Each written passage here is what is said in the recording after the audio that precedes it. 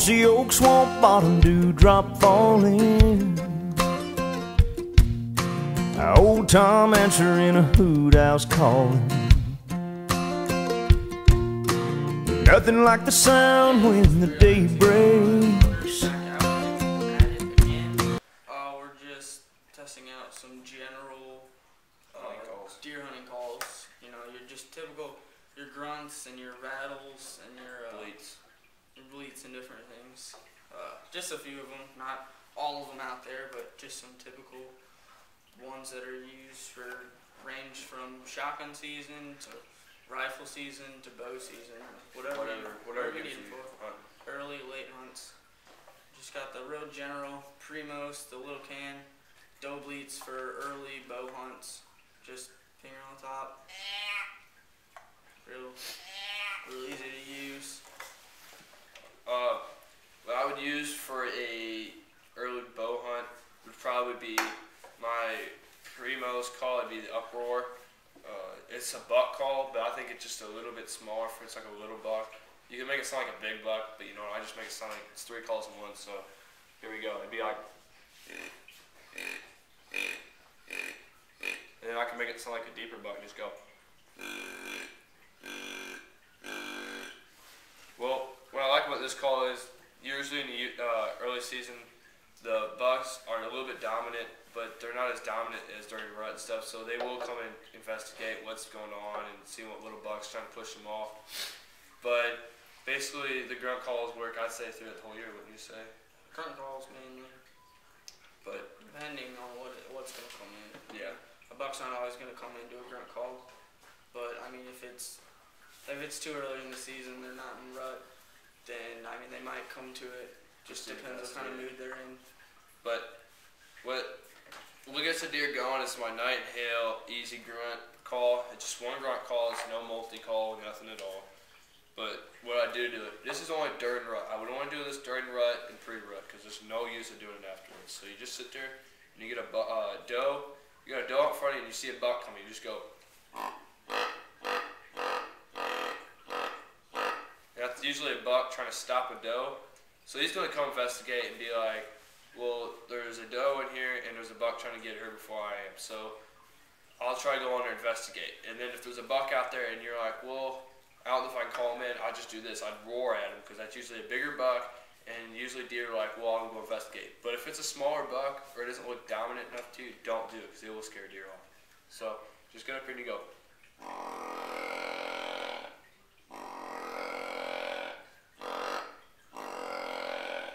And I only do that a couple times. And if he won't come in, you, you just don't have no chance. I'd either go to a fawn bleat or something. But Daniel show you here what he got on Oh, his this is one of the older. Oh, I mean, you can still buy it, but I've had this for a couple years. It's just the Primos General Hardwood Grunter. Just got the. Uh, you can take it apart. You can change the sound. Just the real general. You can, you know, move the tube, change it, and then it's got a. Uh, on the reed, there's a an O-ring that you can change and make it sound like different, like a fawn. And then You got any doe blade on there? just all different kinds. Just you know, from a buck to a doe to a Fawn. Fawn. just I mean you know a trophy buck, regular buck. Just it's a good call to have. It's just, an all-around call to have. Just to throughout the stop them, stop them and call them in or whatever you gotta do. Well, I'd say for your fawn call on there, coyotes, you know, you want to kill a coyote, you can do a fawn bleat. Yeah, I've had a couple coyotes in. come into that call. They'll come in, but if you do a fawn bleat and you see a doe, the doe might think it's one of her group's fawns or a fawn needs help. So they'll come in and investigate. I've seen people do it a lot. And they've killed actually big does off it. Bucks, I mean, you could do it. They might just look at you retardedly, but you know what? That fawn bleat's probably number one way to get does coming. So, uh, I got a bleat on here, but you guys seen it's basically like the same bleat as he is.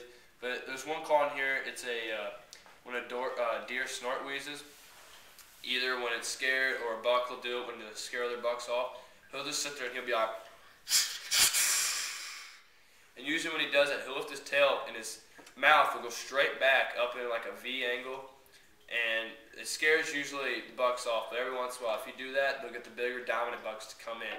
But I would make sure it's a dominant buck because either a little buck or the bucks that aren't dominant but are pretty big, they will get scared off. I've seen people do it before on TV, and I've known people, my relatives, have done it and scared deer off. So it's not one of them calls where you just go out and do it 24/7. It's one of them calls where you have to see the deer to do it.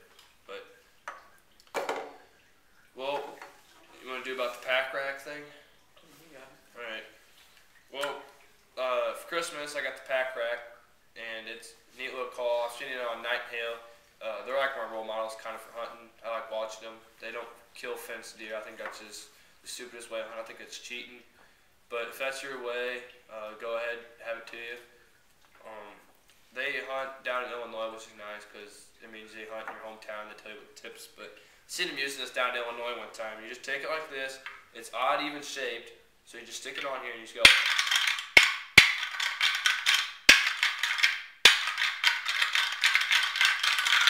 And you do that for about three or four minutes straight. And that's usually what happens. This is about as good as regular antlers. But you know what? They have a little carrying case thing on them. You just take them, snap to your belt right here, and you're good to go. So And it's a little more compact than the rattling bag. Doesn't make as much noise when you're carrying it. And then nobody really uses the antlers anymore, those you can use those too. It's they just- work. They work just. This well. is smaller. It's compact. It's not gonna make noise in your bag. just spend a couple extra dollars and get this. But well, tomorrow me and Daniel are gonna go out. I know we're turkey hunting, but me and Daniel had some deer experiences earlier on this season, Thanksgiving Day. Daniel looked up and there was a bull buck coming out, and Daniel said, "Go ahead, shoot it." We just sat down. And it's still pretty early, and uh, we're calling, calling for turkey, and here comes a buck, and his throat was all puffed out. You could tell he was in rut. Smelled the doe and was running through. And Yeah. ended up getting him. He was a small one, but I mean, deer. People say he was a small deer. I'll, I'll show you guys a video of his rack later, but I think killing that buck was a memory for Thanksgiving because we were just sitting there in buckets thinking we're not going to shoot deer, we're going after turkey.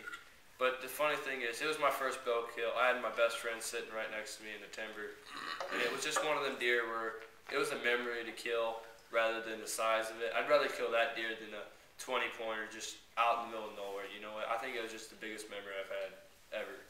And we don't we don't shoot and hunt for the big ones. We hunt for meat, and I mean the rack's nice, but we don't have as many ginormous deer. We don't hunt on a uh, a reserve where there's big deer everywhere. We shoot what we see, and we try to shoot the does, keep the population. Yeah, we're one of the people where we'll hunt bucks, big bucks, but we'll take does out before the rut and after the rut. You gotta keep the herd even. And out. you got to keep it where all the deer are even. You know, we'll take maybe a couple little bucks out during the year because we want all the deer to have a fair chance. And sometimes when we hunt, we have overpopulation, so we have to take some deer out of the herd. But I would promote. I would make this little device right here. It's called a wind seeker. It's probably one of the best things ever. People use water and stuff, but it's just this little powder and it tells you the wind's coming, and you don't know how many times it will save you from deer smelling you. Because you sit in the stand and find out where your wind is, and you can put doe estrus behind you to cover your scent, or you can just sit there because maybe the wind's blowing behind you and the deer coming from front of you, so they won't smell you. So all you gotta do is shake it up a little bit, and you gotta go, and you just blow it like that into the wind, and then it just goes, and it like in here it won't and go it's scent nowhere. free. The deer aren't Scent free, and you can get them in doe estrus too, and doe pee, so you can use it all year and nothing wrong.